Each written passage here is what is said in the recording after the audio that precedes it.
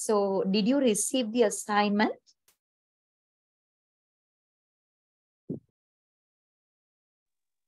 Yes, ma'am, we received.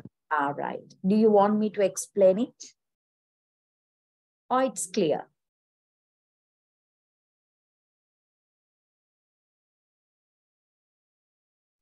Better if you explain, ma'am. All right. Okay, let me share the assignment first. Okay.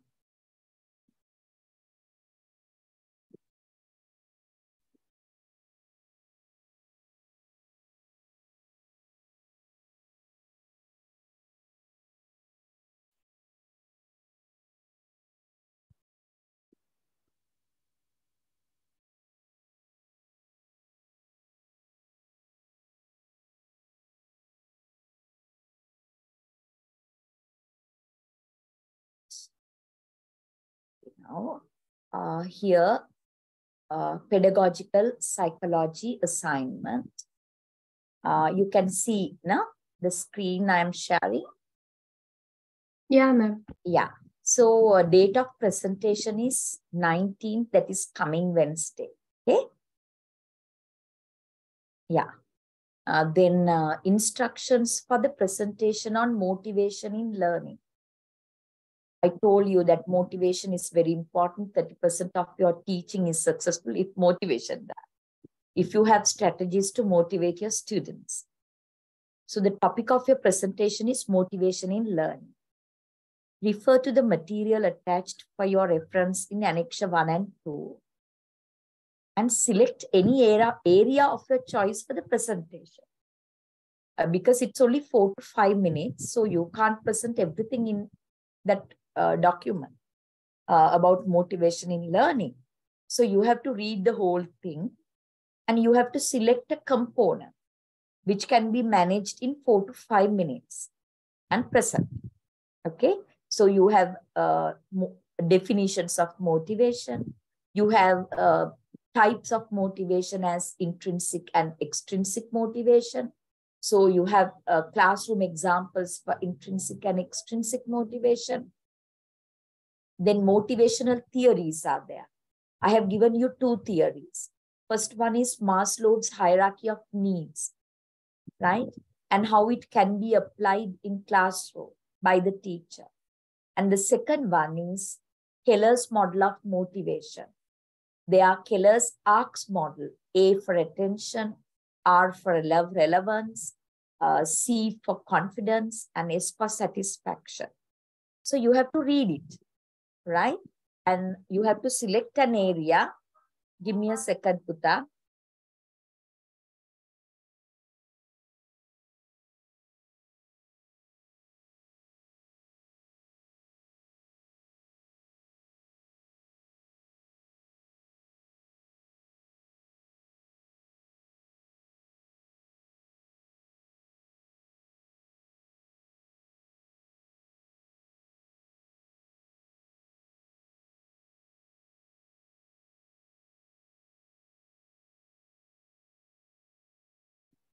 Hello. Hello, yes. I'm audible now, no? Yeah. Hello, please respond. Can I can you hear me? Yeah. Yes, ma'am. Right. So you can select a component. You don't have to take the whole uh, theory or whole document. I think better if you can actually select either um, Keller's model or um, uh, hierarchy of needs by Maslow. And when you actually present it, uh, now you have four to five minutes. So two, you actually uh, have to divide your presentation into two. You have to explain the theory and you have to explain the classroom or teaching learning application of it. Otherwise, it's not a complete um, presentation.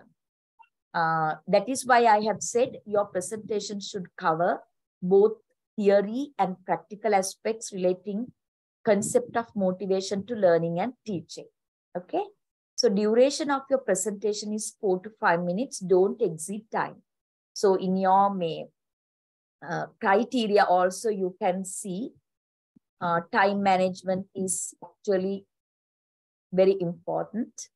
Uh, here you can see time management, delivery, time management. If you exceed time, actually it means normally a presentation is very well prepared. So preparation is a must. So once you prepare, they say you have to actually present it in front of the mirror and you have to actually present it to your friends or your family and you're thorough because you're not going to read from the paper. Right? In your slides, you can have only the keywords, images, or grids or something like that only. You can't write whole thing, everything on a slide and then read it from the slide is not uh, actually proper. So look at uh, the criteria and accordingly you prepare and uh, you need to have the camera on during your presentation. So you have to share the PowerPoint slides and you have to have your camera on as well. Uh, so this is a very good experience for you. Um, the formative assessments or continuous assessments, the purpose is that uh, you have to work on your own, engage in self-study, and then be prepared. And that is actually make you to develop, improve a whole lot. So I want you to do that and come. Uh, so you will be evaluated on what you present. Any questions? Excuse me, madam. Yeah. Uh, can we take a definition of motivation and types of motivation as the topic for our presentation? Yeah, that of course is okay, but you will be in trouble because there's nothing much you can actually um, discuss in it. You have to present it for four to five minutes. Okay, ma'am. You are at a disadvantage there. You have to take that part only because then you have to actually take a lot of time to define motivation. And then the two types of motivation with classroom examples. That is the area covered. No? So that is actually very little that you have to actually do in a presentation. So you are at a disadvantage. But if you want to do it for four to five minutes, if you think that you can, okay. Right? Okay, madam. Madam, uh, when we take types of motivation, can't we uh, describe only one type? No, madam? Yeah, then actually it's incomplete, no? Okay, ma'am. Yeah, that is not a wise thing to do at a presentation or in an assignment. So you can easily, you have four to five minutes for the presentation. That means you can actually adequately cover areas because um, uh, you have to be very well prepared. You're thorough with what you're going to present. So you have to know to do maximum within the time frame is kind of uh, doing a presentation, right? So I don't think that you have to only discuss one type because you have enough time. Talk about both. Right? I think it's a good experience for you. So get ready and don't get inhibited. If you do your part, you are entitled for marks. But uh, getting ready is very important, right? Being prepared for that and spend time and do it on kind of with uh, much dedication is important. Then only that you will improve. Right. No more questions? Uh, you received the annexures also, no?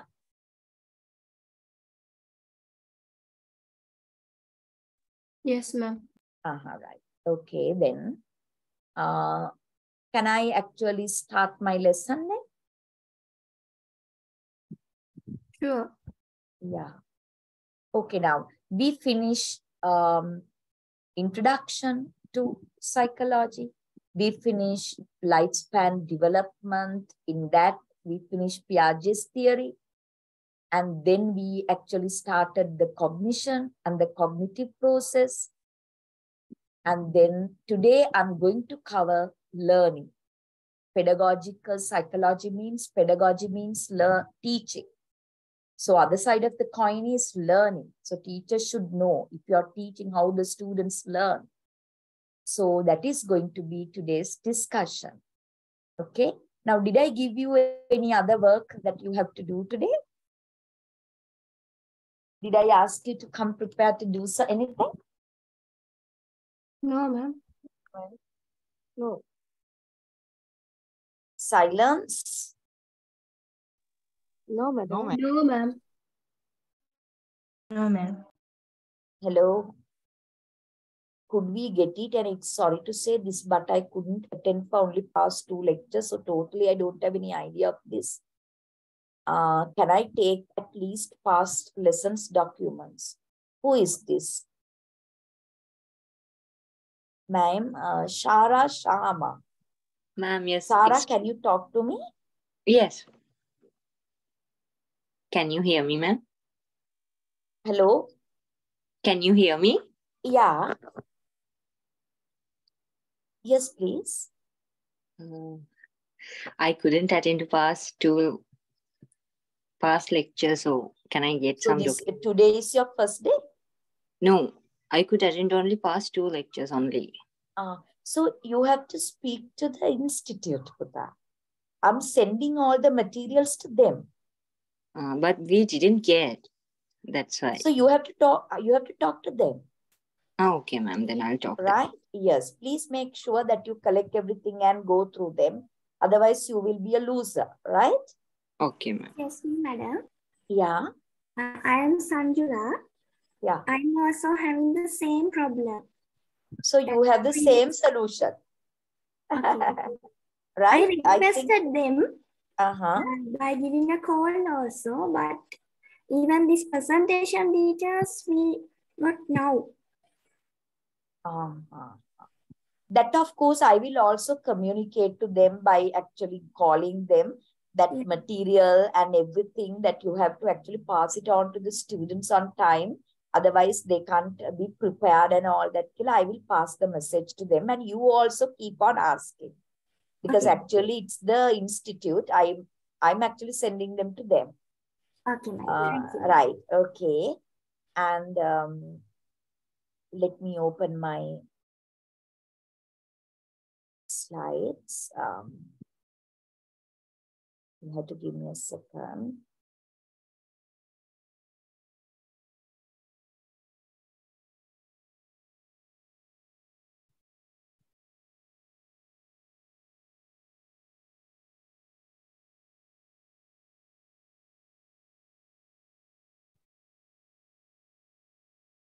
Give me a second, Putta.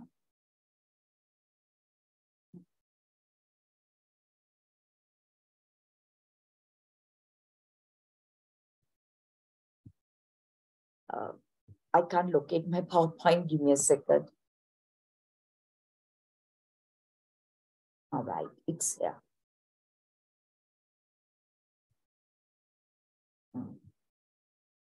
No worries. I see.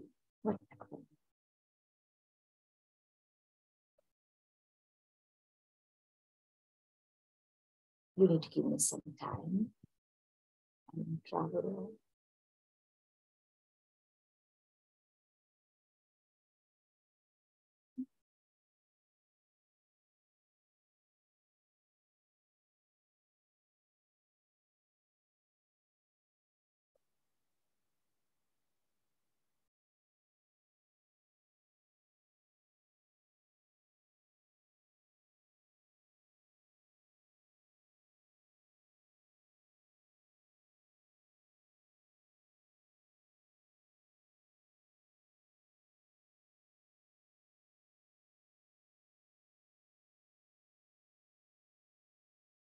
You have to give me a second, okay? Sorry for that. Okay, ma'am. Yeah. It's okay, ma'am. Yeah, I can't may locate. Uh, I saved it somewhere. Hmm.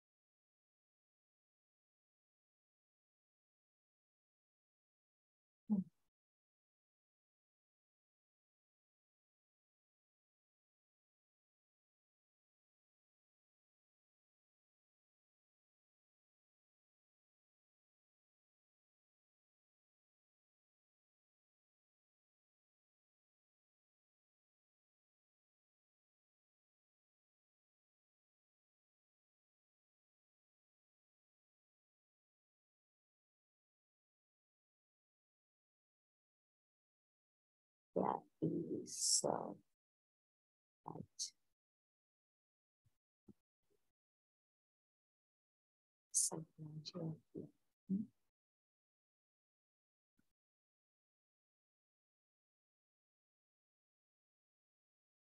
Right, I'm opening.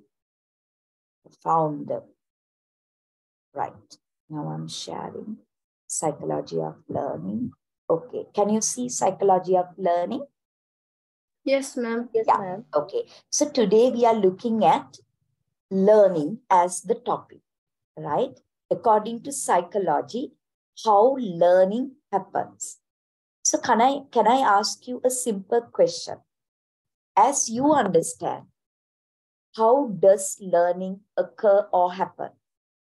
How does it happen? Learning, as you understand.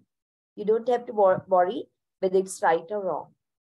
As you understand, maybe that you have some experience in teaching, or maybe that you have been a learner all throughout your life.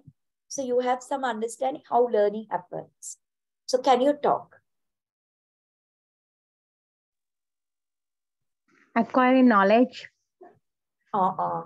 learning is acquiring knowledge as we said in cognition uh, memory and all that you say acquiring knowledge my question is not what learning is. I ask you how learning happens. You misunderstood my question now by doing things like practically. All right. Uh, you say uh, With experience. uh, experience. Very good. So what else that you can actually uh, tell about it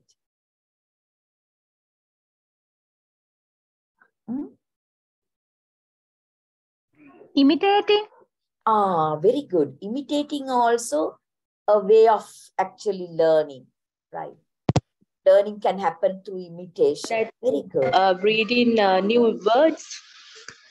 Ah you say that reading. Through reading uh, uh, new words learning words. can happen. Okay. Madam, And uh, experience. with the motivation, Ah, because of the motivation also learning can happen. Okay. Then what Experience. Experience, definitely yes. Then okay. So very good. So with that understanding, you say no, you're not clear, Sulochana. Mhm. I can't follow you, Sulochana. Mhm. Right. Now, anyway, we will actually look at uh, what learning through psychological lens, right? We are first looking at learning through psychological lens because uh, philosophers, Plato, then uh, so many, John Dewey, right? Uh, Socrates, they all talk about what learning is. But we are going to look at learning through psychological lens. And according to psycho- educational psychologists, learning is something very difficult to define. According to educational psychologists, learning is something that is very difficult to define. So, because of that, we will look at one definition given by Woolfolk, right? According to Woolfolk, right? Oh, this is wrong one I'm sharing. Once again, I don't know why. Uh, give me a second. Wrong one I was sharing.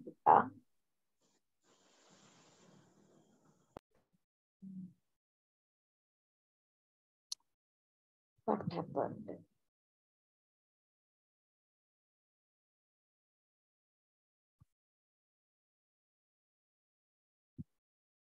You need to give me time.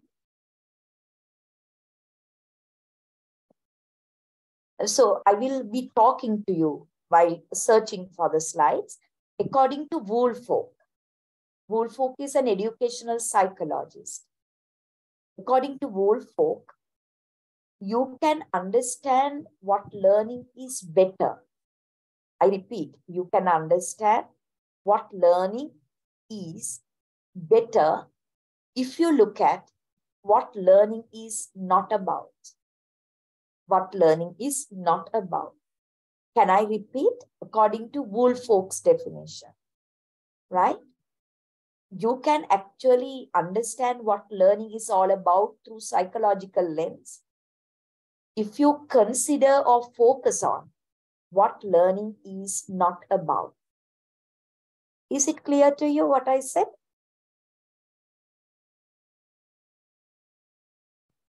Is it clear to you what I said? Silent killers, Appa. Yes, ma'am. I call you silent killers. Yeah, madam. Ah, yes. So Tell me according, tell again. Okay. Uh, according now, yeah, according to uh, educational psychologists, right? Uh, if you actually look at learning um, through psychological lens, right? Through psychological lens, they say learning is something very difficult to define, very difficult to define. And they say, look at, you can understand what learning is that is Woolfolk, right? Woolfolk, you know, as something, as learning is something very difficult to define. Look at, look at, yeah, I'm copying. Look at, What learning is not about. yeah, look at what learning is not about. Very good. Look at what learning is not about. Then you will actually understand what learning is all about. Uh, that is what they say, right? So, so we are going to look at Woolfolk's definition. Here it is. Okay, according to Woolfolk, according to Woolfolk, 2004. You can see the slides now, right? Yes, ma'am, we can see. Yes, madam. All right. According to Woolfolk, uh, yeah, making it bigger. Learning occurs when experience causes relatively permanent change in an individual's knowledge or behavior. According to Woolfolk, learning occurs. You can say it has been learned when experience causes relatively permanent change in an individual's knowledge or behavior. Now, for example, you want to teach some lesson, maybe regular, irregular verbs to your students. So, as a result of your teaching and as a result of their learning, now they can actually know irregular verbs in English language. So, there's a kind of a change in their knowledge and behavior or behavior. So, that is actually learning. But he talks, he further talks about learning and say the key concepts, what it is not all about. Okay? What it is not all about. So let's say what it is not all about. Number one, here, learning is not always deliberate. What is the first one? Can you say? Learning is not always deliberate or intentional. Learning is not always deliberate or intentional. unintentional, right, ma'am? Yeah, deliberate or intentional. Learning is not always deliberate. Deliberate can purposeful. Intentional. With intention only it's done, purposeful. Emana, what does it mean? Not always deliberate or intentional. For better or worse. uh, then you know, you know learning can happen unintentionally as well. What is it? Indirectly he says learning can happen Unintentional. un- unintentionally as well. So learning is number one is learning is not always deliberate or intentional. Indirectly he is suggesting unintentionally also learning can happen. Second one learning is not always about correct things. You learn always not you always you do not learn correct things. Always you do not learn correct things. What is indirectly suggested? You might learn wrong things as well. Number three, learning does not always happen in the classroom. That means outside classroom also learning can happen. So we discussed three. Fourth one, fourth one, now one is learning is not always deliberate. So unintentional things can also learn. Learning is not always, uh, you, learn, you learn not only right things. That means you can learn wrong things also. Third one, learning happens not only in the classroom. That means outside class also there are ample learning opportunities. Fourth one is you learn not only knowledge. You learn not only knowledge. Now indirectly it is suggested you learn skills and attitudes as well. That is Woolfolk, right? That is Woolfolk. So I repeat, according to educational psychology, learning is a concept that is very difficult to define. Okay? Learning is a concept that is very difficult to define.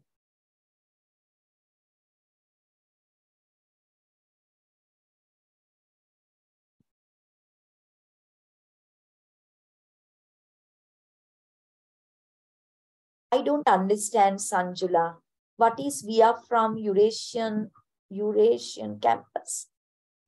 Madam, uh, they are uh, they are from different university. Uh, because of that, they do not receive the materials because there are two groups. Oh, that may be the reason. Uh, Oh. if need, uh, I don't know, I can forward to everyone. That- that is also better, no? Uh, because Yeah, they yeah. need it right now. Uh, if you're in a group or something, if you have your contacts, you can share, no, what you receive. Yeah, yeah, ma'am. Right. If- okay. if- Thank you, Channa. Okay, ma'am. I'm sorry, Okay. ma'am. Uh, I have the same problem. Mhm. Uh, and my friend uh, shared me uh, all the materials to me. Uh, actually, uh, I informed the camp, uh, Eurasian campus, but uh, still I didn't get anything. Uh, and uh, they told me to uh, join this too. Uh-huh. So anyway, now you are receiving, no? Uh, yes, ma'am. Yeah, you better speak to the authority. I really do not know. And uh, Mhm. try to actually uh, systematize it. Uh, I will also actually put them a message. Okay. Okay, thank In you the very much. meantime, keep in touch with each other and uh, share your material. Okay. Right. Okay, then. Now, I was giving you the kind of summary of Woolfolk's definition. He says better look at what learning is not all about. Then you can better understand what learning is about. Then he talk about four concepts. According to Woolfolk, learning is a relatively permanent change in your knowledge or behavior. Right? Uh, learning makes you to change. Uh, it's a relatively permanent change and it can be seen in your behavior or knowledge. So there are key knots that there are four knots that they talk about. First notice, learning is not always deliberate or intentional. That means indirectly he suggests that learning can be unintentional also. Second one, uh, learning is not always, you learn not always right things. So you may learn wrong things as well. The third one, learning happens not only in the classroom, outside class also learning can happen. போட்டு ஓடுவே. அப்படி இந்த முக்கலாம் இல்ல. வாகனம் குறவுதாங்க பத்தே முக்கால் மணி பத்தே முக்கால்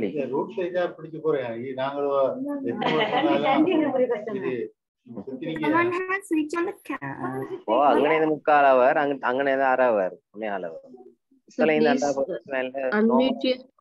sir please mute your mic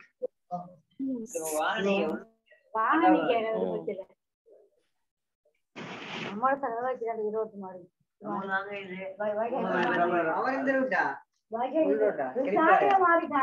excuse me madam we can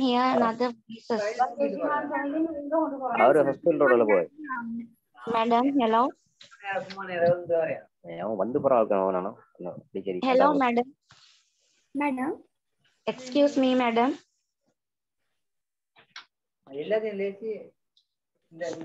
madam. Dear madam's voice. Sorry, it was a connection issue. Madam, someone is talking in Tamil, so we Yeah. can. Microphone has been. So if we can mute. Yeah, I think it's Murshid. Murshid, சொல்றானுவோ இதால please mute your mic. Murshid, can you mute your mic? இதால போனா போய் தாங்க Murshid. Welding அதை சந்திச்சுட்டு அப்படி நேரம் payment டவுன்ல வரும் Madam, it's be- better to keep a message or something. Yeah. Put a message, no? Can you put a message?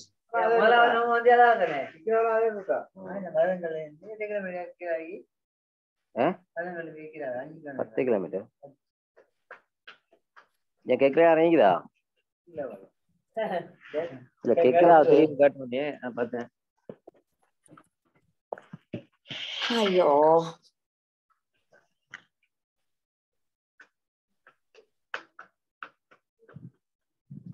I think you have to mute your mic. Murshid, mute your mic. Okay, right now it's better. No, the mic is not muted. Uh, so you see the slides? No, Let's no, participant screen. And can you repeat the things again? Okay, give me a second. I was also disturbed. Okay.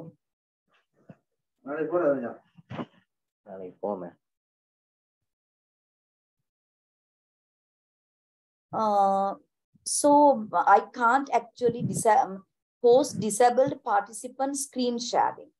So now I'm not allowed to share my screen. That would be a problem, no? Post disabled participant screen sharing. So what can I do? Can I give them a call and see? Yes, madam. Uh, I think, uh, madam, you do not have sometimes uh, uh, to share. You need the permission sometime. I think You know, I no, I was sharing. No, it happened. Uh, may, may accidentally or something. I have been sharing. No, anyway. Now it is disabled. uh, That is Sanjula the is the host now, because so I need to Sanjula share my to give the host uh, to madam, Otherwise, you will find it difficult. No, no. madam, yeah, automatically the host has going to has, has gone to Sanjula. Sanjula, can you host madam? Okay. So can you explain uh, what should I do? தின பிரதான வாகனம் அது அதை கொண்டா அவன business ஓடுது In the participant list, there i- there is a uh, there is more option button. I think. Uh, Hello, three dots. Mr. Can you hear me? Ah, participant one is not here, no. More is there. Then participants, yes. In the participant, you can, I think you can see uh, there are uh, three dots. Yeah, three dots, yeah. Uh, then you can uh, give the host to anyone you want from that.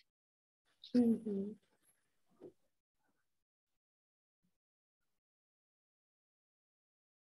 வந்து dolphin எடுக்க போறான்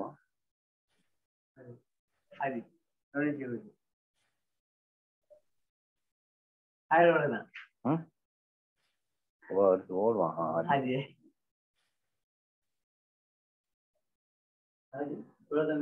Now it's okay. I think it's yeah, it's fixed now. it's Okay. Yeah. Yeah, yeah, it's fixed. அவனும் Okay. ஓடல, அது Right then. manual gearbox வச்சு Excuse me, madam. Yeah. we can hear that Tamil person is talking. Yeah. Oh, that of course I hear. Then what can I do about? Madam, host I can uh, his mic.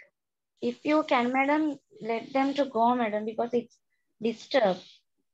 Yeah, I madam, know it's disturbing. Yeah. You can madam mute host, the mic, madam. Host, madam, host can uh, mute uh, his mic. So I'm not the host. No? No, now you Madam, are the you are the No, host. now you are you the are the host. host. Yeah. I'm the host. Okay. Ah, yes, I'm the host. So it was uh, uh who was talking then? Now he has mute, ma'am. Mute. He has He mute. has muted the mic. Yes. Muted, yeah. No, ma'am, still Mubarika Fausar. Mubarika Ah, Fausar. okay. I will mute him or her. Now I have muted her. No? Yeah, ma'am, thank you. Yeah, I have muted. Okay.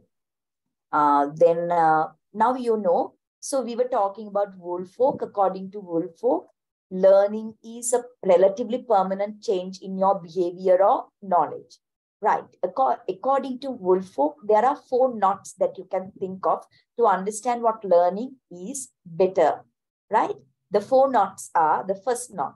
Learning is not always intentional or deliberate. That means learning can happen unintentionally also.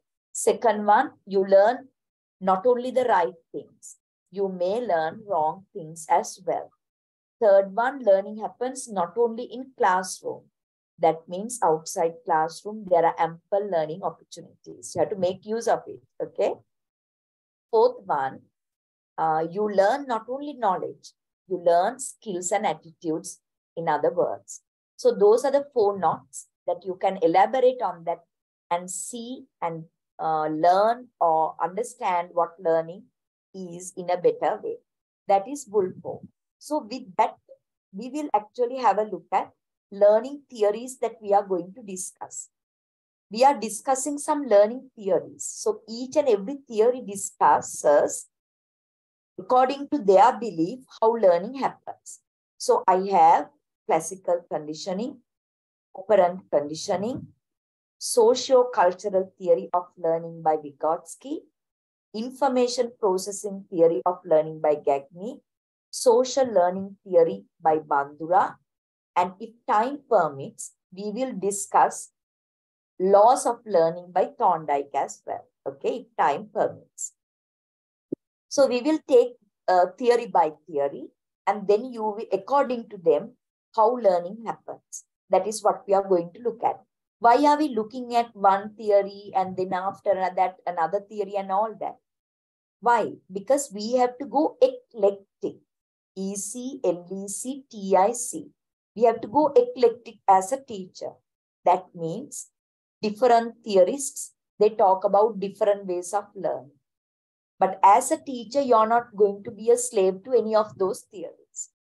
In your classroom, you will see what is applicable, what is appropriate, and accordingly, that you will draw um, elements from one theory and another element from another theory, uh, again another theory element from another, some other theory, and then you combine them and you will make your lesson a learnable one. So that is the modern teacher. You are eclectic. You know the term, no? Eclectic? Eclectic teacher. Mm. Yeah, eclectic teacher means you use different different notions from different different theories appropriately. You're not going to make it a soup, but you're going to use them with understanding and appropriately. So your teaching is very effective. You're an eclectic teacher.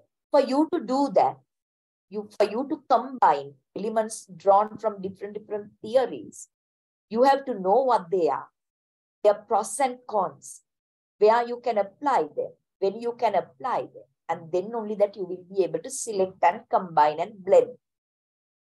Is it clear to you, Putta? Yes, Madam, ma'am. can you Okay, explain right. So we are going, sorry, Can you explain it again? again. What's your name, dear? Mubarika. Uh, Mubarika. You were listening to me? Yes, yes. Right, okay. Now, Mubarika, I was talking about theories of learning. So we are going to look at different, different, different theories which discuss which discuss how learning happens. Okay, how learning happens. So in my discussion, I'm going ma'am. to I want to. I want eclectic teacher. What is uh, eclectic? eclect, eclectic teacher. Eclectic teacher. Eclectic teacher means the teacher facilitates learning in the classroom through a combination of different elements from different different theories. You're not 100% classical conditioning in the classroom. You're not using 100% operant conditioning in the classroom. You're not using 100% socio-cultural learning theory. Instead, you have that capacity and ability. You draw some elements discussed in classical conditioning. You draw some elements discussed in social learning theory of Bandura, and you combine them and conduct your teaching to facilitate learning. You will be able to do that if you know what these theories discuss and what their elements are. Then you know ah, in my class today, I can combine these, these elements and do my teaching to facilitate learning. So that kind of a teacher is called an eclectic teacher. That is the 21st century teacher. Is it clear to you now, Mubarika? Yes, ma'am. Thank you. Thank you so much. So we are going to discuss different theories and you're not going to use them in isolation on its own. You will be at the end of the day, you will be able to actually be eclectic. Others, are you okay with what I said? Yes, madam. Yes, ma'am. Yes, ma'am. Thank you for responding. So we'll first look at classical conditioning by Ivan Pavlov, which is a learning theory. Okay? Classical conditioning by Ivan Pavlov. You can see the picture of Ivan Pavlov. The theory is classical conditioning. Can you remember the very first day I talked to you about the four major schools of thought? Can you remember? Yes, Yes. ma'am. So, what are the four major? Behaviorism, psychoanalysis, humanism, cognitivism. Right. So, this theory, this classical conditioning by Ivan Pavlov, it belongs to behaviorism, behavioristic school of thought. So according to now, learning is a behavior, right? Learning is a behavior. So according to class behavioristic school of thought, right? What determines our what determines our behavior? It is our I want the very word. Sorry. What is it, Chanda? It is our education or personality. No, no.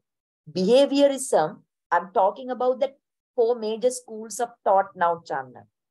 Behaviorism, psychoanalysis, cognitivism, and humanism.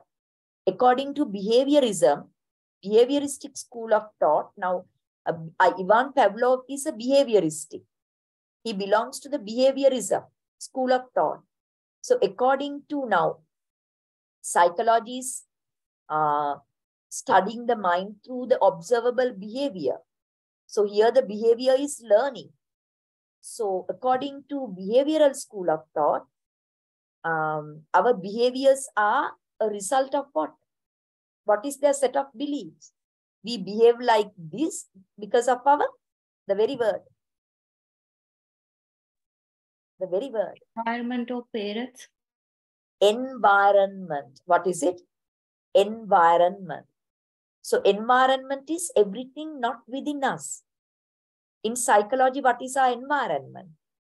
Our parents, our neighborhood, our country, our culture, our society, our language, everything, our friends, mm, uh, our siblings, they are all our environment.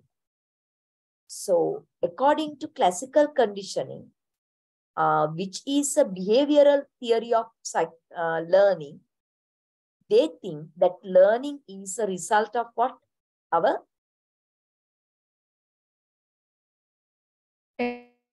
environment.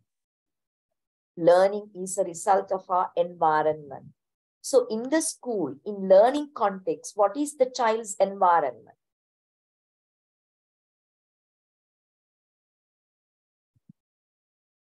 What is the child's environment in school? Peers, Teacher, teachers, peers, friends, yeah, school classes. culture, Yeah. right? Textbooks, QUs, all these are the child's learning environment. So this is classical conditioning. Ivan Pavlov is a behaviorist psychologist. So environment has a role to play in our behavioral changes, in our learning, right? That is what it is all about. Now let's see what he talks about learning. Are you ready? Yes, madam. Right. If you want to understand Ivan Pavlov's classical conditioning, right? I want to tell you one thing. You can take make a note of that. According to behaviorist, according to behaviorist, learning is a habit formation. What is it? Learning is a Habit habit, formation. formation. According to behaviorists, according to behaviorist psychologists, you know, behaviorists, learning is a habit formation. Learning is habit formation, right? Learning is habit formation. So Ivan Pavlov also thinks that learning is habit formation. How can you get them to form habits?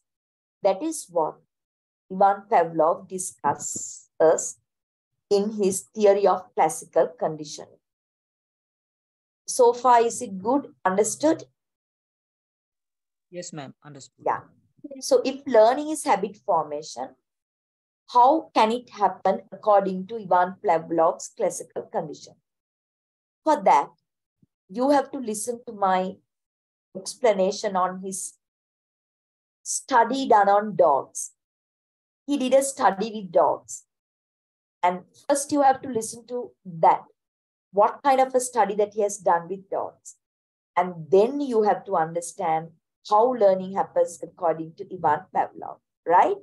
Now I'm going to talk to you about the study done by Ivan Pavlov with dogs to put forward this theory of classical condition.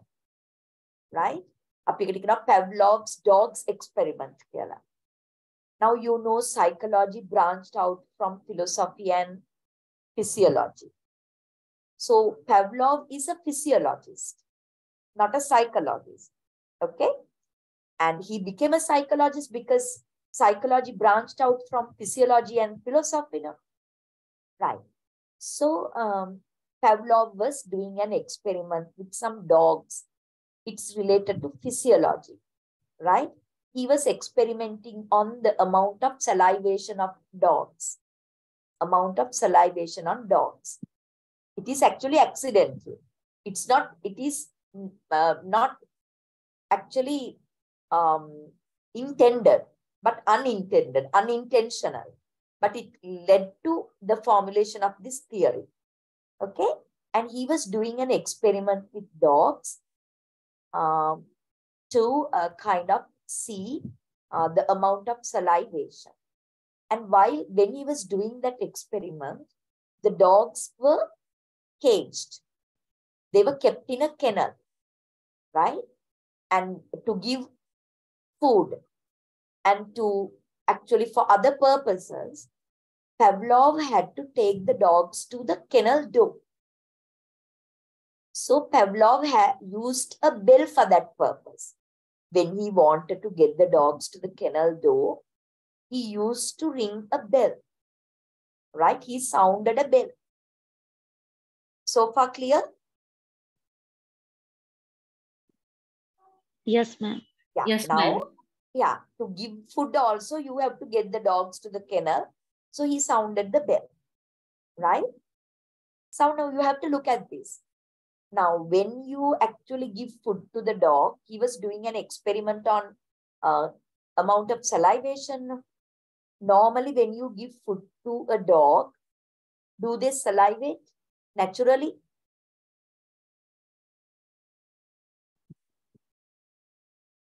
කෙල හලනවද කෑමක් දුන්නාම naturally? Yes, ma'am. Yes. Yes. It is natural, right? You actually give them food, they salivate. It's a natural thing. Now, what is your favorite food? Right? Channa, what is your favorite food? Manioc leaves and rice. My goodness. Is it available in Japan or Russia? Russia. No, ma'am. No, only in Sri Lanka. That is it. Manioc leaves, it's only mellum that you can make, no? Yeah, ma'am. It's very tasty. I also know because we have manioc at home. Up here, kalavam mellum, we put one or two into that. It gives a nice taste. I know. Uh, Yeah. So then uh, you miss them, no? Right. Uh, Yes, then you know, then you know, um, you get actually salivation, no? If you're offered that food platter, Of course, ma'am. salivation happens. So naturally, when the dogs are given food, salivation is high. But if you sound a bell, do the dogs salivate? No. No. No. That is not a natural thing. It's a neutral thing. For the sound of the bell, dogs don't salivate. So sound of the bell is neutral with regard to salivation. But what happened?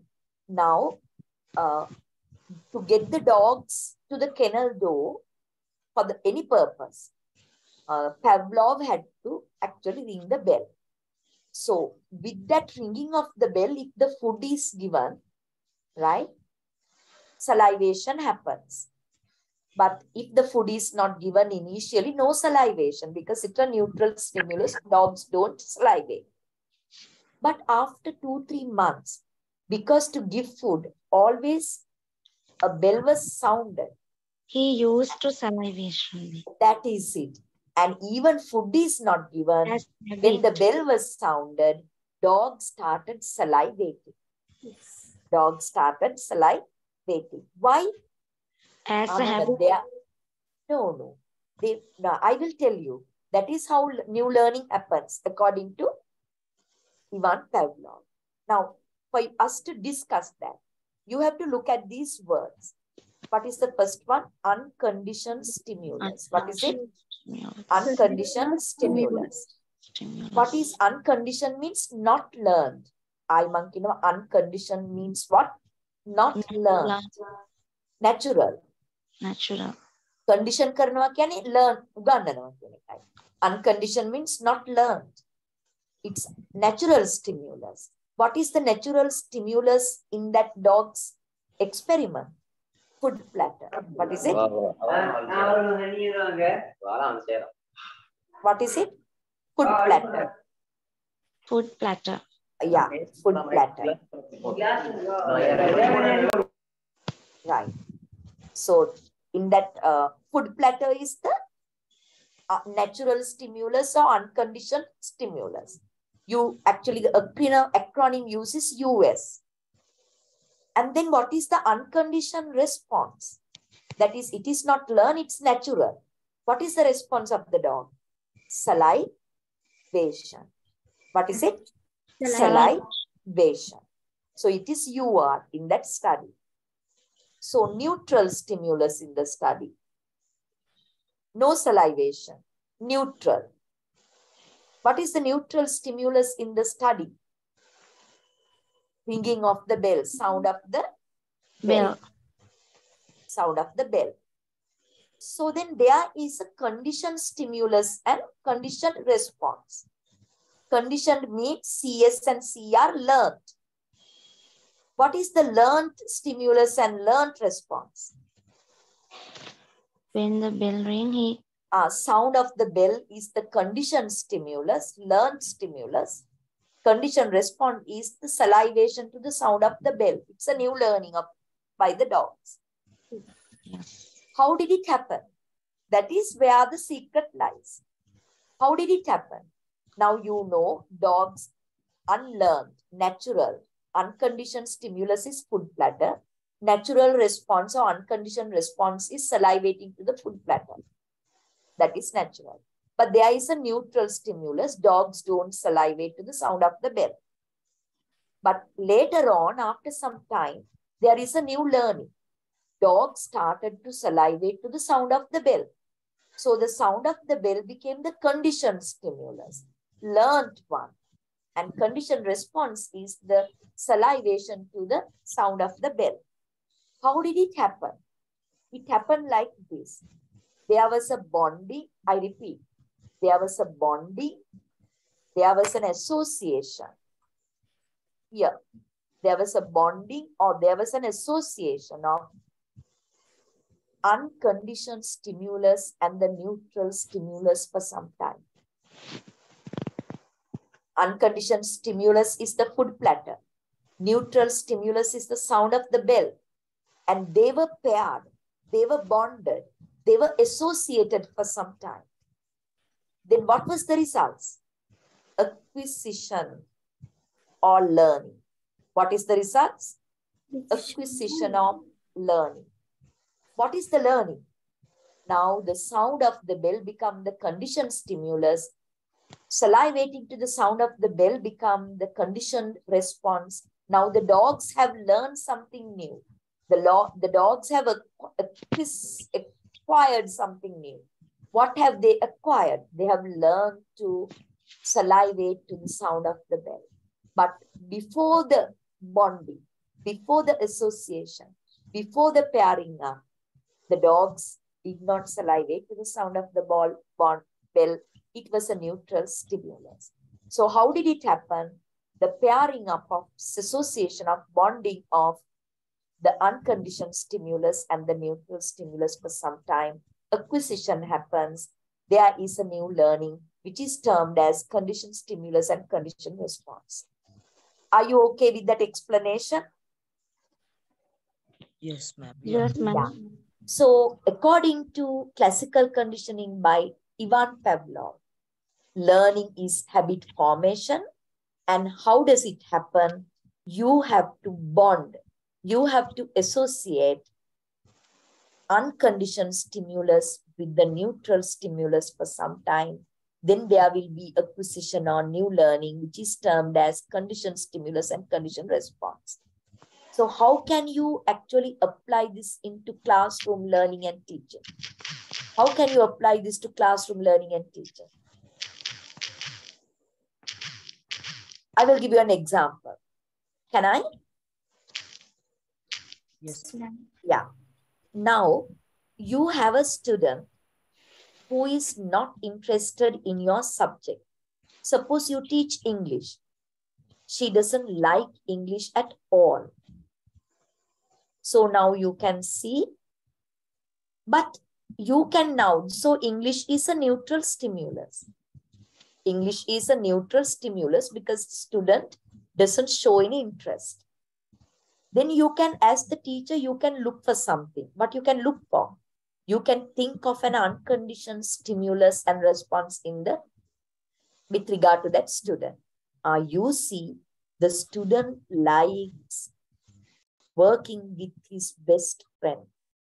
The student like working with his best friend. So as a teacher, you are very smart. You look for unconditioned sti stimulus, US, and unconditioned response, UR. Uh, if you unconditioned stimulus is the best friend, unconditioned response is the child's liking to work with the student, friend. So now you want to pair up the unconditioned stimulus and the neutral stimulus. What is the unconditioned stimulus in this example? The best friend. What is the neutral stimulus? English. Now you, you pair it up for some time. You associate the two for some time.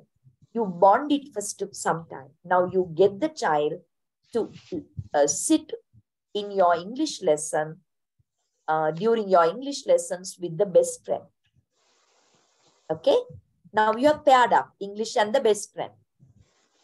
After some time, you can see the child likes to learn English even if the friend is not there. Because when she he started working with the friend, as he likes the likes the friend, he started liking English also. Now, after three, four months, you can see in the absence of the friend also, the student shows interest in English. So English become the conditioned stimulus and conditioned response. Is it clear? Yes, ma'am. Yeah. Now I want to tell you this happened about 20 years ago in the University of uh, Colombo education faculty, one Professor Roland Abepala. Actually, he is a retired professor now, and but he wrote a book on action research he has done. That was based on classical conditioning and operant conditioning both. Now, I will talk about the classical conditioning part. You know, in Sri Lanka, students, they don't like learning English in rural areas. So English remains the neutral stimulus. Then he went and saw the students like games, right? They like to play games. So it was the unconditioned response and the stimulus. US and UR, when you get them to do games, they like it. So Roland Abepala sir paired it up. The unconditioned stimulus games with the neutral stimulus English. So he actually conducted a kind of a project, executed a project where English was taught using games. It was a three, six month action research. At the end of six months, there was a conditioned stimulus and conditioned response. Even in the normal classroom without games, students started to like learning English. This is bonding association because the unconditioned stimulus and the neutral stimulus, they were bonded or associated for some time for the actually creation of conditioned stimulus, new learning of which is termed as conditioned stimulus and conditioned response. Are you okay with this explanation? Yes, ma'am.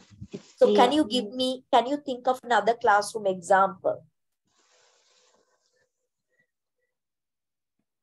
Can you think of another classroom example? Um, yes, ma'am. Uh, I'm doing uh, Yeah. a teacher Yes. can uh, uh, keep some sweets because some children like uh, before the lesson or after doing something. Teacher can Yeah, that is what the, what is the bonding there? I'm asking you. This is a bit of actually operant conditioning you're talking about. What is now Uh-huh. you have to think in terms of unconditioned stimulus, neutral stimulus. Think in terms of that. Madam, Ma'am? doing game uh, to uh, as an evaluation. Uh, of, I mean, after the lesson, doing a video game. I, I mean, related to the lesson, doing a video game likewise. I'm asking now what you tell me what is the unconditioned stimulus, what is the neutral stimulus, what is the new learning or the conditioned stimulus. Be Madam? intelligent, yeah. In the primary classes, teachers Mhm. give uh, stars for children. That is also So- operant conditioning, Puta. Madam, if Uh-huh. some children uh, weak for the subtraction lesson, Oh, so that means maths lesson. yeah. Uh, if we can give to do that activity, if we can give beautiful things uh, for that activity, so they love to do that because of those uh, objects. Yeah, that example is quite applicable, Sulochana. I will explain it. Then, when you are talking about classical conditioning, you have to talk in terms of unconditioned stimulus and unconditioned response, neutral stimulus, and then the conditioned stimulus and the conditioned response. That is a must. So I take your example, uh, subtraction. So students don't show any interest in learning subtraction or mathematics. Yeah. And you know, as the teacher, students like to work or uh, work with uh, realia, beautiful things. That's So right. you now con- unconditioned stimulus is realia. Unconditioned response is students liking for realia. Neutral stimulus is learning mathematics abstraction. So you're going to bond or associate unconditioned stimulus and the neutral stimulus. So neutral stimulus, learning mathematics, subtraction is combined with, associated with realia, beautiful realia. Then after some time, what happens? Even without realia, your students do- will like to learn mathematics. That is conditioned stimulus and conditioned response. Am I right? Yes, ma'am. I will give you another example, right? Um, uh, your students, um, they like naturally what they like. That you first look at neutral stimulus, something that they don't respond, and you want them to respond. So you can think um, uh, doing homework, right? Doing homework they don't like. Right. So then it's a neutral stimulus. Now you want to get them to like to do homework. Uh, you want to convert this neutral stimulus into a conditioned stimulus and response.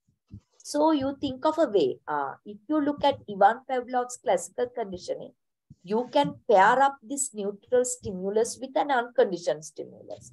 So you look for an unconditioned stimulus. Ah, they like watching video. They like watching video. So you make it a habit that always you give them homework based on a video that they have to watch. So then homework and video watching is combined, associated, bonded for some time. So you continue to do it for two months. Then after two months, you don't give them any videos, still give them homework. They have started doing homework even if there are no videos to watch. So there's a conditioned stimulus and conditioned response that is learned thing, which is termed as acquisition. They now do homework.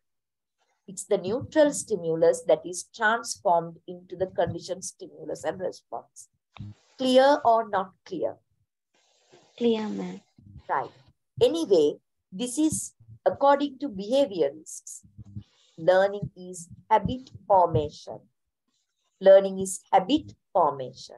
So it is lower order learning. They don't talk about higher order learning where they have to think, problem solve, uh, and uh, uh, synthesize and all that. Because for behavioral school of thought, behaviorism, learning is a matter of habit formation. But in our primary classroom, we actually learning is limited to lower order learning. Am I right? Yes, ma'am.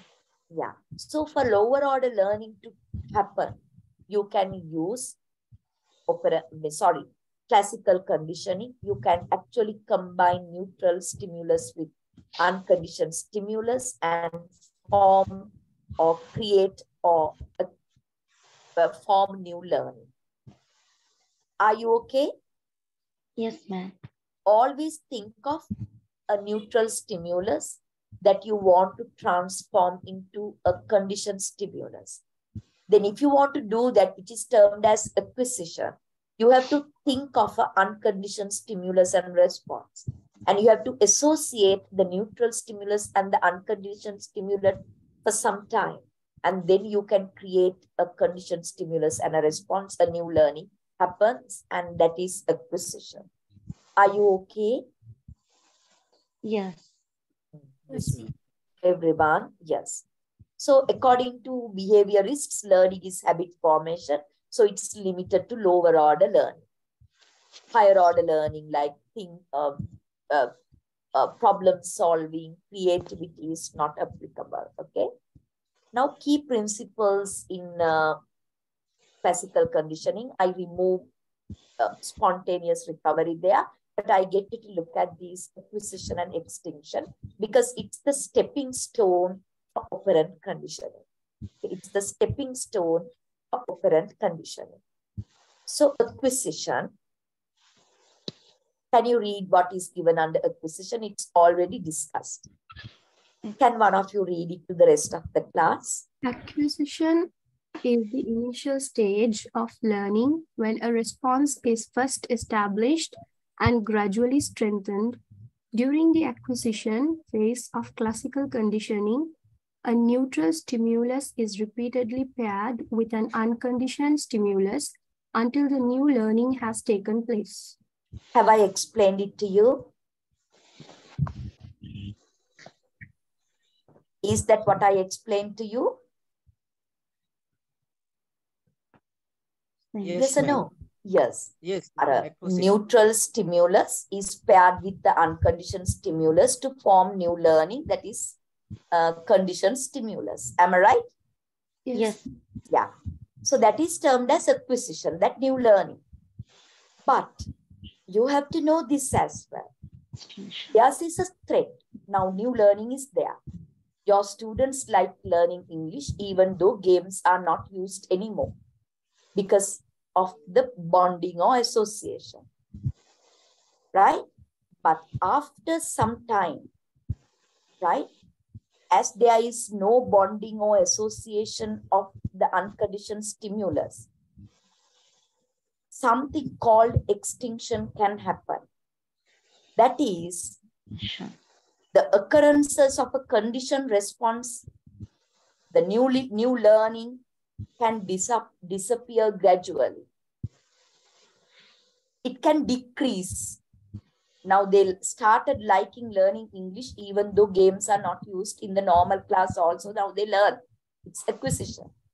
But gradually, as there is no bonding or association with games, little by little, they will lose interest once again, and that new acquisition or new learning will disappear or extinct over a period of time that it happens. It's gradually that it can happen. Do you understand what extinction is now? Yes, ma'am. Yes, ma'am. Yeah. Can you Yes, read what is given as extinction?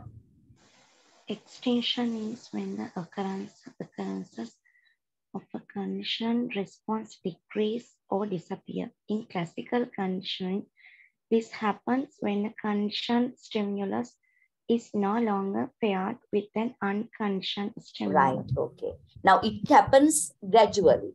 So one fine day, again, students will be actually not interested in learning English. And in the classroom example, mathematics, once you stop using realia, uh, they are still learning mathematics because there is acquisition. And over another period of time, gradual decrease of that interest can happen and ultimately they start once again disliking maths. So that threat is there. So for that, there's a solution in operant conditioning. You can find a solution to this uh, threat of extinction of the newly learn new learning or acquisition through the application of operant conditioning in the classroom. So we will discuss what operant conditioning is next. Right? Operant conditioning is also a behavioral learning theory. It belongs to behaviorism. It was actually formulated or proposed by B.F. Skinner. B.F. Skinner. And he also belongs to behaviorist school of thought. So for them, learning is habit formation. It is applicable when it comes to lower order learning, remembering, understanding, and application. Right? Learning is limited to habit formation uh, in the view of behaviorists. And Skinner is also a behaviorist psychologist. So he thinks learning is habit formation. So you can find a solution to this newly new learning or acquisition. There is a threat of extinction. It may disappear over the years, over a period of time. Because of that, you can apply operant conditioning as a solution. So what is this operant conditioning? As you all know, behaviorists, behavioral school of thought, those psychologists experimented on animals to generalize findings to human beings. It was actually criticized by other schools of thoughts. But here also B.F. Skinner used animals uh, to formulate this theory of operant condition. Have a get educated guess or have you heard of this experiment by B.F. Skinner? What is it termed as? What is it termed as? What is it termed as? B.F. Skinner used rats, rats for his experiment. Yeah. Yeah. Uh, Skinner box. We call it Skinner box experiment. Name is the Skinner as the rats were put into a box for this experiment. This experiment is termed as uh, Skinner box experiment. So this is the experiment. I will talk to you first about the experiment. Okay. Now, as the dog's experiment by Ivan Pavlov classical conditioning, this is the B.F. Skinner's operant conditioning Skinner box experiment. Now here, this is what happened.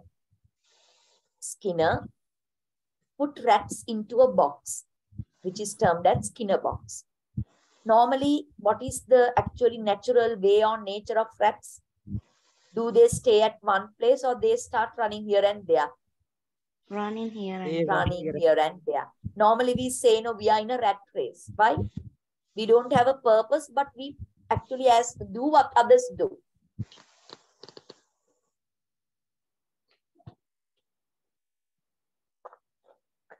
normally they do. No?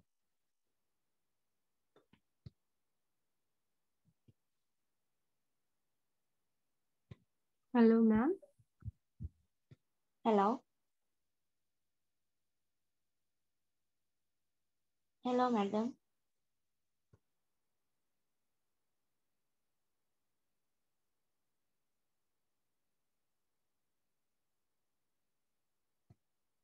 Madam. I think there was an internet uh, connection issue, but now you can hear me, right? Yes, ma'am. Yeah. So I was talking to you about this Skinner box experiment. In this experiment, Skinner put rats into a box, which is termed as the Skinner box now. And once the rats are put into the box, the rats naturally, that's their nature, they started running to and fro here and there.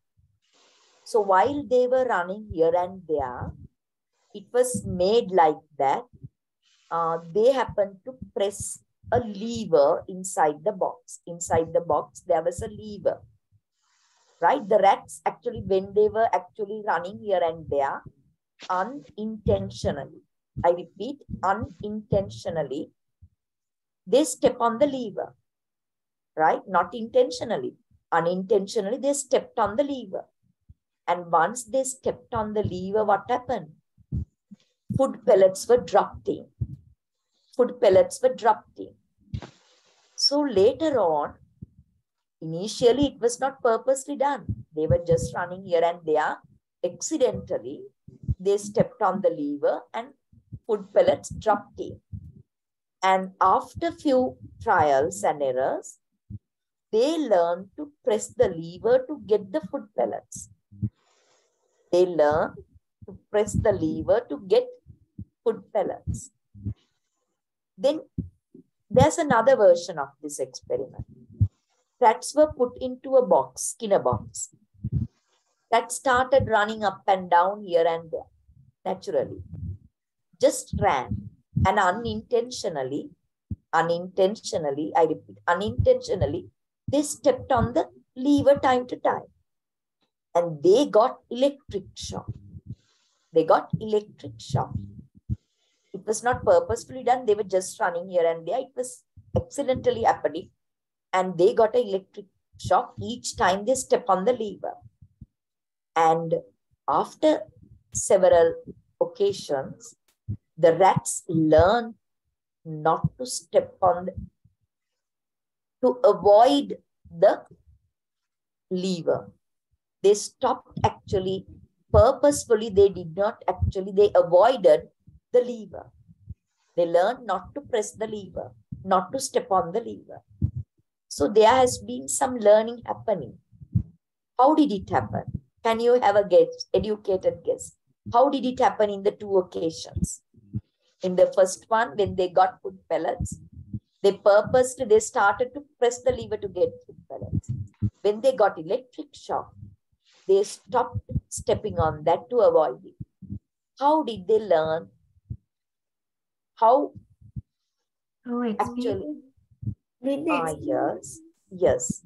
A better answer? With the experience. Yeah, that experiences matter. But is there a specific thing that comes to your mind? They know what, they- What they, is know, it? they know what happened When after can you- Their behavior. Uh, uh, If I say it like this, now the food platter, food pellets is a reward. Electric shock is a punishment. so they know the they know what happened in, in the future. No, uh, it's like this. If uh, according to operant conditioning, They according to B.F. Skinner, yeah, Rewarding. if you are rewarded, you tend to repeat that good behavior. If you are punished, you tend to stop that behavior.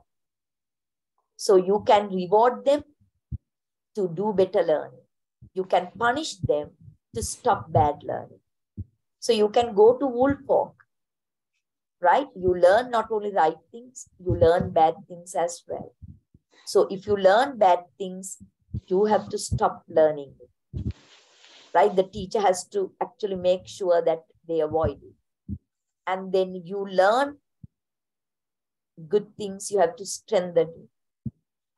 Something like that. And you learn not only knowledge, but skills and attitudes. So here, behavior, right? So a good attitude can be strengthened, a bad attitude can be weakened through the application of operant conditioning. Because B.F. Skinner, operant conditioning, it also belongs to behavioral school of thought. Learning is habit formation. That habit formation can take place due to rewards and punishment, according to B.F. Skinner's operant condition. Is it clear to you or it's not clear to you? Clear, ma'am. Everyone? Very good. So when I send you notes, you can read them again, right? And make your own notes. And uh, I really want you to actually know what you learn and you will be able to apply them in classroom as well. Um, one fine day, I know my psychologically, you have to tell, right? Uh, psychology is a bit of a hard subject if you don't study. Regular basis, you have to study Putta. Otherwise, everything become actually too much for you because all theories have their own terms and references. Ne? එක දවසේ පාඩම් කරන්න බෑ නේද? No, Can you? Yes. Regular study Putta. So take time. Uh, be happy about the fact that you learn something new, right? And uh, do your part. It's beautiful. Actually, psychology is a very beautiful subject. But you lose interest because everything piled up and now you have no way of actually referring to it. So you tend to actually give it up. It happens because you can't just beat about the bush with psychology. So on regular basis, if you study, you can actually easily learn and you can really be happy and you can go for A's and B's as well.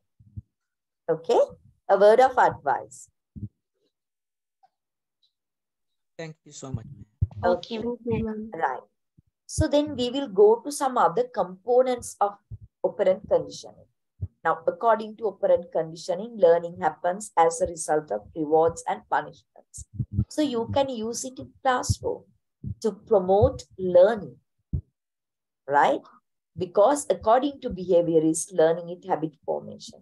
they refer to lower order learning, lower order thinking. So you can promote that in primary grades. This is more applicable because in primary classes, actually it's more or less lower order learning. Okay. Right. Let's see what are the components discussed by um, B.F. Skinner. They are learning through rewards and punishments, operant conditioning. Now, this is Skinner box experiment.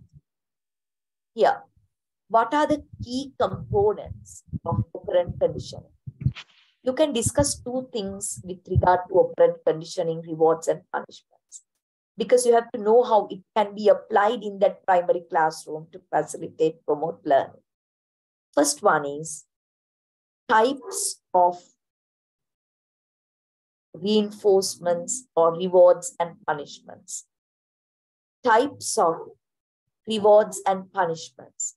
Rewards is another term is reinforcement. Okay.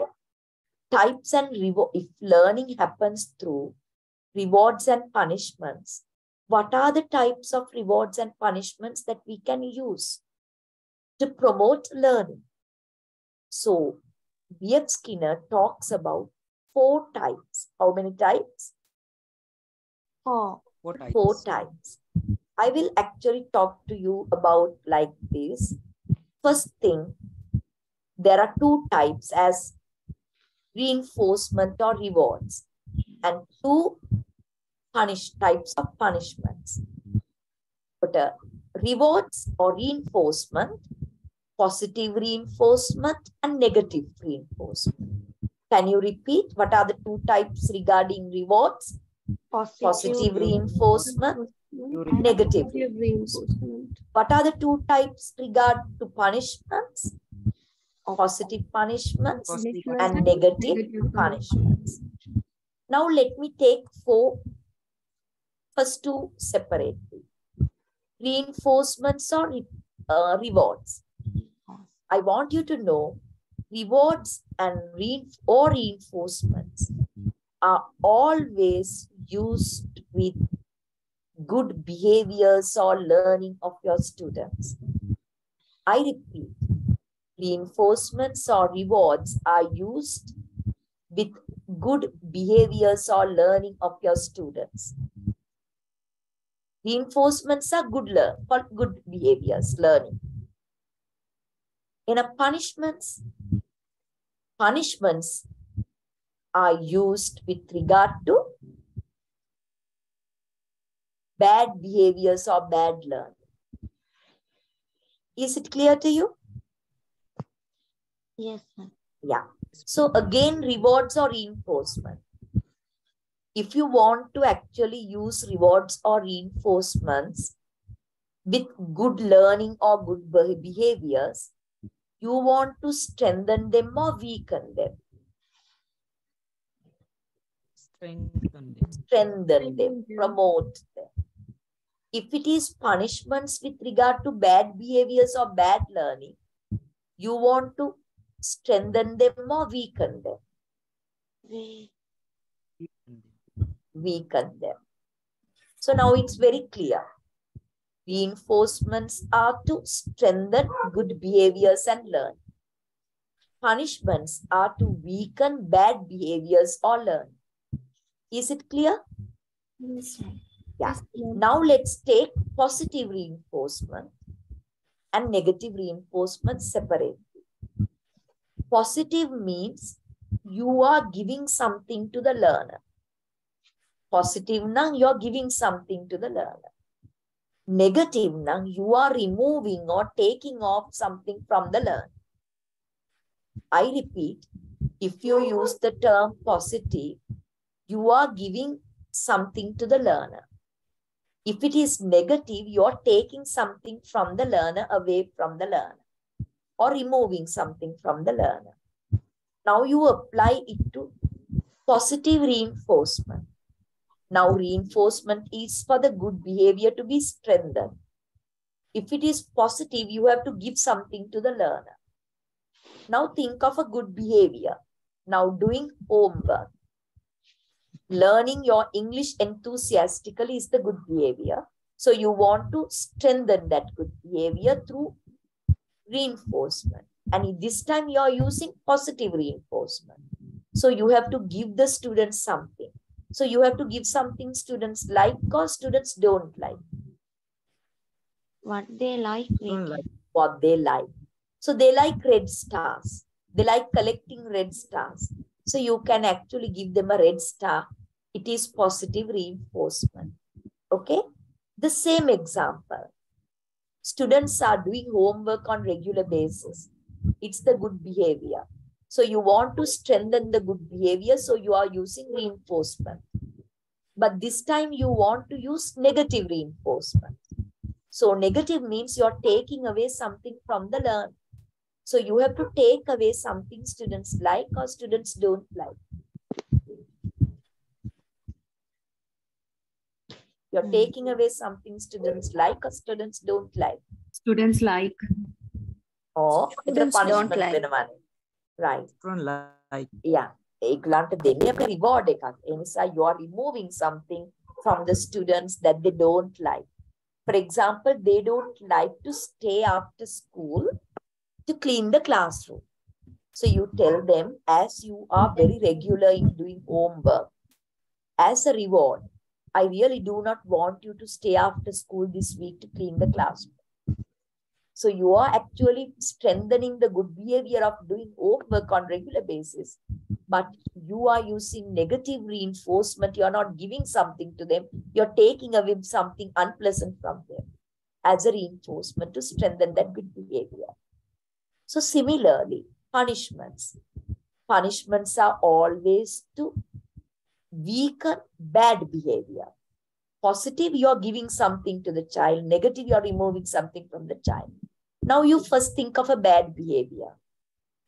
Bad behavior is getting absent often. Bad behavior is getting absent often. Or doing mathematics in wrong manner or something. We'll take bad behavior is getting uh, absent often. Right. So you have to weaken that. You are using positive, so you have to give something to the child. As a punishment, you will give something he likes or he doesn't like. He likes. Right. එයා කැමති එකක් දුන්නොත් ඒක punishment එකක් වෙනවද? Doesn't like. Something he doesn't like that you have to give him. So what can you give him? He doesn't like black stars. So every time that he is absent, you give him a black star. It is positive punishment. He doesn't like to kneel down in front of class. So when he shouts in the class, that is the bad behavior, you get him to come in front of class and kneel down. You're giving something he doesn't like. It's positive punishment. So negative punishment is you remove something from him. So you have to remove, take away something that he likes or he doesn't like as a punishment. He doesn't like. අයෝ double check. He likes. Yeah. He එයා likes. කැමති දෙයක් නැති දෙයක් අයින් කරොත් එයා සත්‍ය ෂෝක් එකට ඉඳි. you have to actually remove something that he does, he likes as a punishment. Yeah. For example, if he has best friend, can we keep him away from the best friends? Yeah. Definitely yes. It becomes a punishment then. Right? But they talk all the time. So you can actually use negative punishment and uh, he, you remove the best friend from him. So uh, something taken away from him, something that he likes. So it's a negative punishment. Why negative punishments? Why negative reinforcements are used? Why? Can you have an educated guess here? To make Why do we use uh, when Then you the, they learn something. After No. that, they, they won't uh, do again. and he know it. mm, No, it and- can be done through positive reinforcement and positive punishment also. And the child Why negative aspect is introduced? I will tell you. If it is positive reinforcement, they will- become very selfish. All the time they're working for rewards, rewards, rewards. When the reward is not there, they will not show up the good behavior. Am I right? Yes. Yeah, ma'am. Yeah. So you can stop that by introducing negative reinforcement as well. Right? And then again, punishment. If you all the time punish the child by giving them black stars and getting him to kneel down, shouting at him and all that, what will happen? the child will be very unhappy in your class. That is a kind of an abuse. Am I right in this world of child rights? Yes. So they say better use negative punishment, remove something that they like as a punishment. So it is not abuse then. Am I right? Yes, ma'am.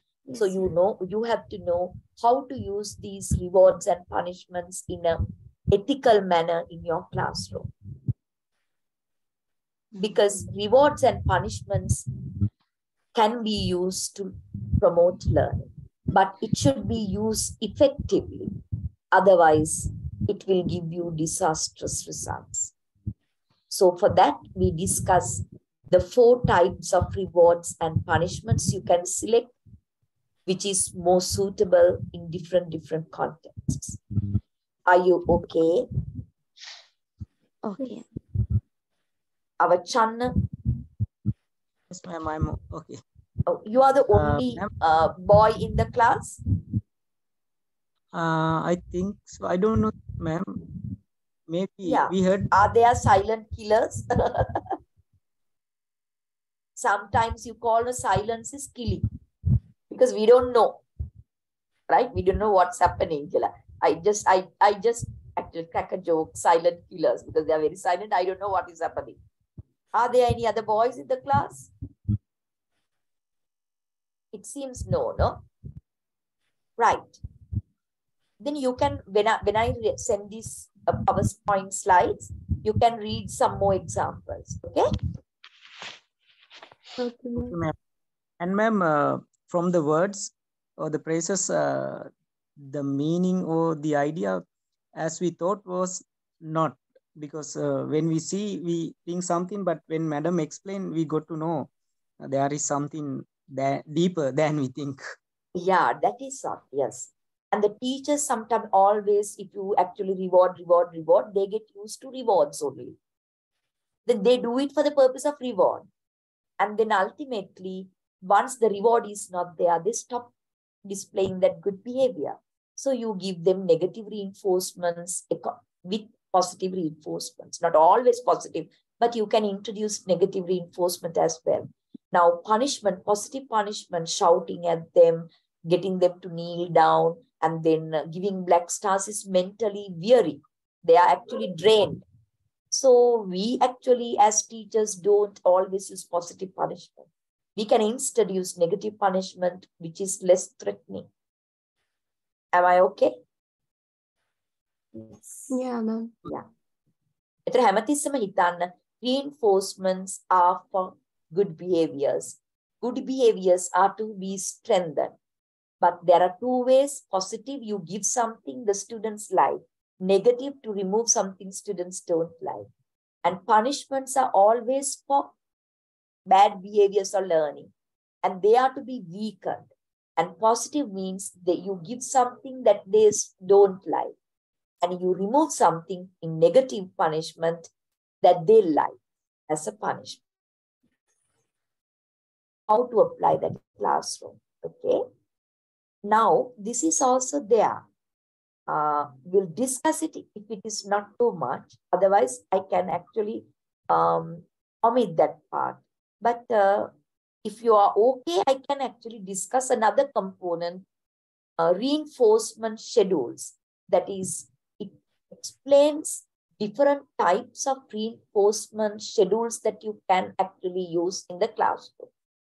It has insights for you, implications for you. So we have another about 15 minutes. We will discuss now.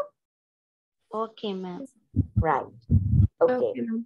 Right. And next Wednesday, don't remember, forget that you have the presentation. Okay. Okay. Okay. Then reinforce. Abhay, I have a word of advice for the res- now. Maybe it's your first presentation in this module, and you have not done much, uh, se- so many presentations. It's all right because doing an examination doesn't mean it's just pass your examination with the subject knowledge, right? What is psychology and educational psychology? That is not enough you have to develop your skills, attitudes, presentation skills, everything. Your ability to self learn, it develops your study skills. So you are a package at the end of the program, right? Once you get the certificate in your hand. So at the same time, you have I have given you criteria, look at them and be ready. And I'm not going to cut lot of marks if I see that you are prepared and you have taken pains to actually do that.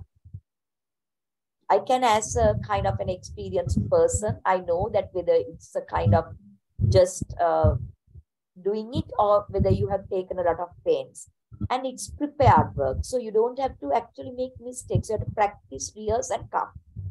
So do your part, Puta. You can actually get good marks. One fourth, 25% of your final outcome, final result, final evaluation is this on this presentation. So you have to take a lot of interest and do. If you actually want, if you target a good grade for your this module, pedagogical psychology. Right. It's a word of advice for you. මම ආයි සිංහලනුත් කිව්වොත් මං කිව්වේ ඔයා හිතන්න ඕනේ මේක විභාගේ ලකුණු 25ක් මේක. ෆයිනල් විභාගේ. ඒ නිසා අපි දැනගන්නට ඕනේ උනන්දුවෙන් ඒක කරන්න මොකද අන්තිමට ෆයිනල් මාක් එකට මේක බලපාන නිසා. Okay. As your background noise is good, I'm muting you. But I can't mute, mute Sanji Priyanka. That's background noise Sanji. Okay. Now looking at, are you listening? Can you hear me? Yes, ma'am. All right. Reinforcement schedules. Reinforcement schedules. Now we are rewarding the students. If we actually haphazardly do reward, if we just reward our students as much as possible, you know, it will be actually very unpractical, impractical, no? Not practical. And it will be actually very, uh, not very effective as well. Sometimes it's not practical to reward the child each and every time that they display very good behaviors. And it's not practical. And at the same time, it will not be very effective also. Because you know, according to psychologists, we live in a world of rewards. We live for rewards. And ultimately, I just deviate from this reward reinforcement schedules and tell you, they say because of this reward system in this world, in this competitive world, there are a lot of rewards. And you know what has happened? People are so used to getting rewards and everything is done for a reward. If there's no reward, they will not do that. That is the mindset of people nowadays in our society because of these rewards used unethically. And they have done a research on divorces. Now people divorce me. Marriages are not very successful. They have actually done a research on that why divorce rate is very high. And dig deeper into them, they have learned marriage also has become a marriage of convenience. Marriage of convenience means you marry for a reward. What's the reward? You marry for money. You marry for cars. You marry for status. You get married for uh, the dowry. Love is absent in the marriages. Because why it has happened? When it comes to marriage also, they look for a reward. Otherwise, they don't actually fall in love with anybody, but there should be a reward for them to get married. So because of that, ultimately the divorce rate has gone very high. One of the reasons they highlight is it's deviating from the lesson, but you can see the gravity of it. Am I right? Yeah, ma'am. Now, what about you? You also work always for rewards. No, ma'am. I don't ask you, but this is what we see, no? Even neighbors, even politicians, even as laymen, when we actually vote uh, at the elections, we think, Ayo, if I give this man my vote, I can get a good job. Like that. We don't think of their policies and all that. We think of those things and vote them. Am I right? Yes. So education system is held responsible for those. Because throughout your life, you are made to think of rewards. And ultimately, when it comes to important milestones of your life also, it's actually the reward that matters, nothing else. This is the world that we have created through our education system. Right? Okay. Forgetting that, coming back to these reinforcement schedules. That is for effective use of rewards in the class. B.F. Skinner talks about reinforcement schedules. These are the schedules. You look at them. Schedules, you know a schedule, right? What it means, how you can use it, right? He puts, now you can actually stop extinction if you actually start rewarding your students. Now they have made new learning. Uncon- make condition res- stimulus and responses or acquisition is there. Now it can extinct. That threat is there. So the teacher can introduce reward systems for them to not stop that new learning. That is where this operant conditioning is very useful for the teacher, right? But very impractical and very unethical this reward system can be. Because of that, B.F. Skinner actually introduces this component of reinforcement schedules. Basically, there are two types of reinforcement schedules. First one, continuous reinforcement schedules. What is the first one? Continuous reinforcement schedule. What is the second one? Intermittent reinforcement schedules. Now, first look at continuous reinforcement. What does it mean? Continuous reinforcement means each and every time the good behavior is shown, the good learning is shown. Each and every time the good behavior or good learning is shown, the child is rewarded. The child is rewarded. The student is rewarded. Each and every time the good behavior is shown, the student is rewarded. What is the problem with this type of this reinforcement schedule? Not practical. Can a teacher go on doing that? Is it practical? No. No. So then why is it needed then continuous reinforcement? You can use continuous reinforcement for the formation of new learning. For them to actually learn the new learning behavior. At the initial stages of establishing a good behavior, the teacher can use continuous reinforcement. For example, you get a new set of students. They are not in the habit of doing homework. So every time that they do homework, you give them a red star. Why? Because then they will get into the habit of doing homework. So you can get that new behavior established. For that purpose, you can use continuous reinforcement. But it is highly impractical, uh, not practical. Why? Because how on earth that you can go on rewarding them each and every time. Once the good behavior is established through continuous reinforcement, you can go to the second type of reinforcement schedule. What is the second type of reinforcement schedule? Intermittent Intermittent reinforcement. reinforcement. What is it? Intermittent reinforcement. Another word for intermittent is partial. What is another word for intermittent? Partial. Partial. P A R T I A L. Partial reinforcement. Why intermittent or partial?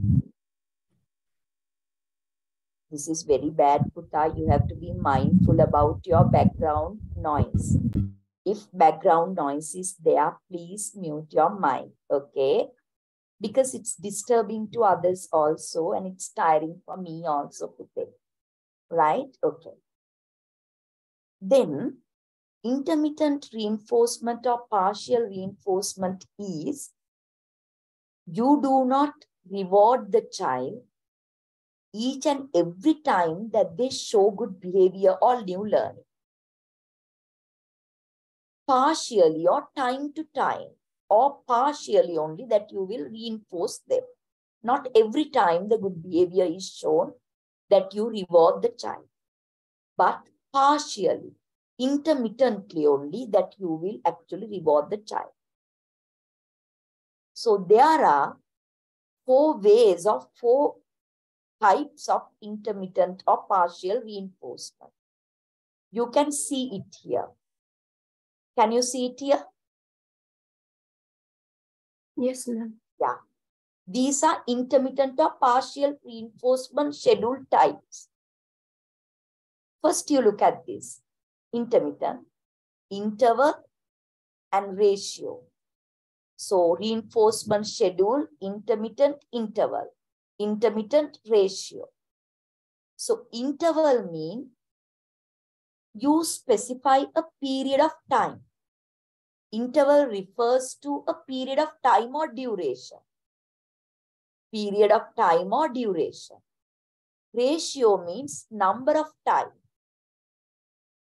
Period of time, interval. Number of time, ratio. Right? Then again it is further down. Fixed interval, variable interval. Fixed ratio, variable ratio. So what is it? We'll take fixed interval intermittent reinforcement schedule first. I repeat, fixed interval intermittent reinforcement schedule. Fixed means interval. So interval means duration. Every Friday, it's fixed. Every Friday, it's fixed. Am I right? Yes, ma'am. Every month, month is duration, so it is interval. It is fixed because it's every month, you know when. So fixed interval intermittent schedule reinforcement example. This is from psychology books I give you. Now, as the teacher that you want your students to have the good habit of reading, that you know that they are not good in their reading habits, they don't go to the library at all. So you tell them each time that you go to the library and borrow a book, I will give you a red star. What is the type of reinforcement schedule?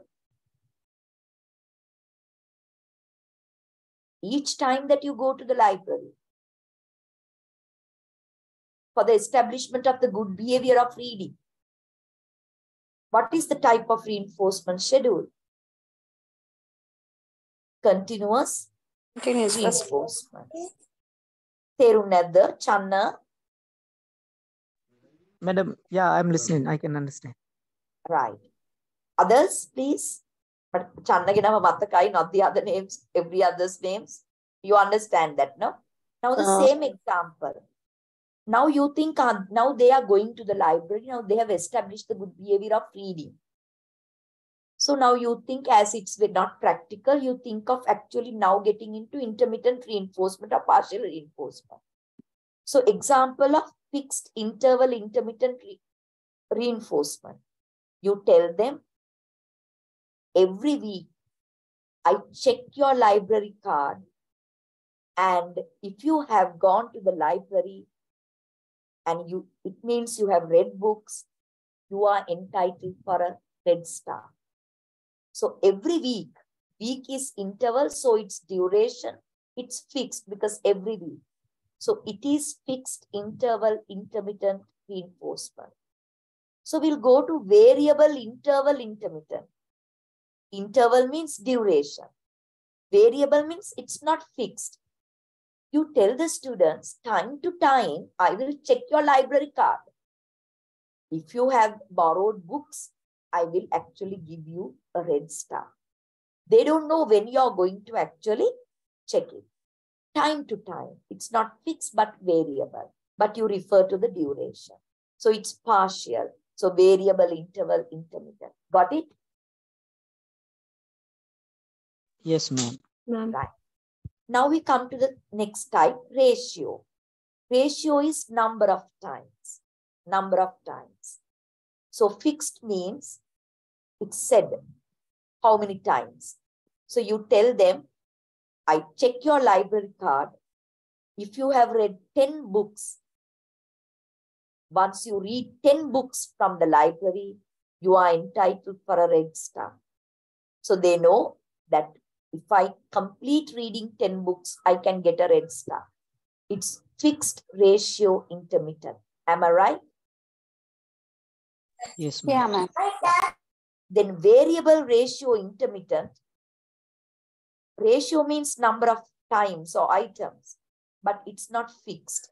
So you tell your students, or time to time you check, uh, if you have read five books, bring your library card, I will give you a red star.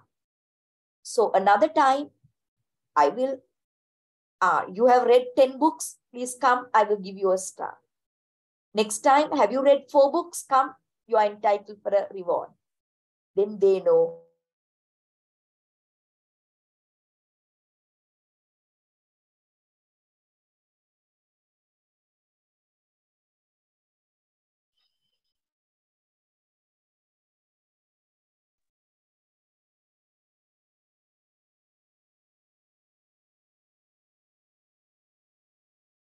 No, ma'am.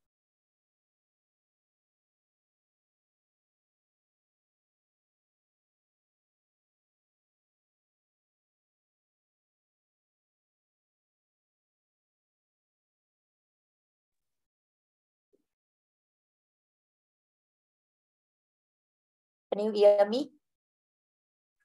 Yeah, ma'am. Yeah.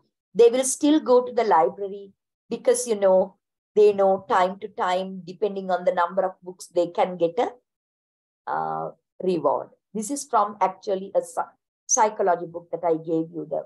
Now, you can think of ways of applying different types of reinforcement schedules in the classroom to strengthen good behaviors of the students in a practical way, way in an ethical way, so it becomes more effective. So, according to a classical conditioning by Ivan Pavlov, learning happens through bonding or association. According to B.F. Skinner, um, operant conditioning, learning happens through rewards and punishments. So, with that, I think we can